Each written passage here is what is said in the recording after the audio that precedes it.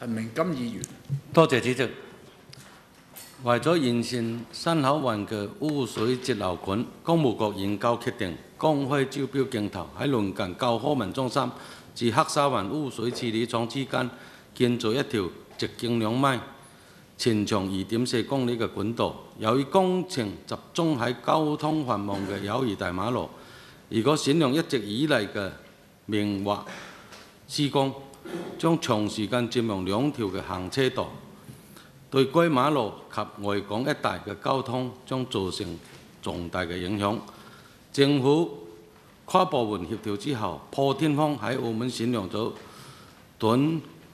扣花嘅施工。由此從舉可以睇到，澳門仲有啲官員想做事會做事，對能做事做成事嘅官員應該支持鼓勵。喺內地，短溝花已經係技術十分成熟嘅施工法，高鐵、輕軌、地下共同管道等等，千山涉水都唔係問題。而今有關技術早已經係走向國際。舊年十一月，本人同多位同事參觀咗廣廣深港高鐵項目深圳福田站，係亞洲最大嘅交通樞紐，能建成通車。短溝花嘅施工創下多項世界嘅紀錄。澳門要建嘅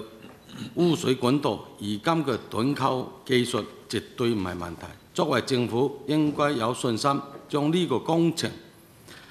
打造成樣品嘅工程，藉此告知居民，工程每日都有，但喺十億左右嘅地下掘，基本不涉及水電管網、噪音。以風雨影響少，關鍵係小方路唔用唔使擔心，好似氹仔廣東大馬路下水道重整、阿里亞加營營地嘅新污水泵站建造，花大錢做傻仔，長時間封路。工務局問此掘完一兩年又掘，水電公司跟住掘，掘到澳門人心都亂晒。本人一再呼籲政府要重視地下管道嘅建設，政府嘅回覆係澳門好難搞，小販都知道。老城區例如近新馬路嘅營地街、福隆新街等，每逢大雨，海水倒灌，雨水、油水、屎水一起谷上嚟，好多遊客居民見到攤攤尿。老城區亦係，新城區亦係。九月二十號下水道重整後兩三年嘅高士德街爆死渠外交公廁差啲被屎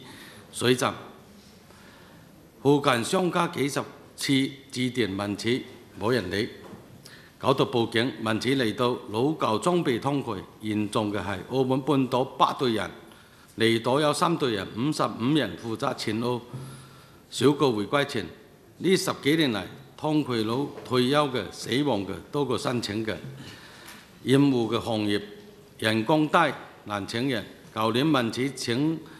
到兩個月，渠務前線人員變成新聞，但係仍然未改變寫字樓人多嘅局面。面對日益增加嘅污水排放，建設辦做渠，工務局改渠，官員是否應該有更多嘅新思維？民此嘅湖渠是否要學香港適當外判，金光大道以前只係節目嘅十二生鏽嘅荒草，而今超豪嘅酒店林立，澳門表面嘅問題固然重要，地下嘅問題遊客居民可以唔知道，但係圍觀者要知道，要高枕無憂，就唔能夠出現水漫金山。要排除隱患，就必須要有新思維嘅觀念。勇於承擔，多謝。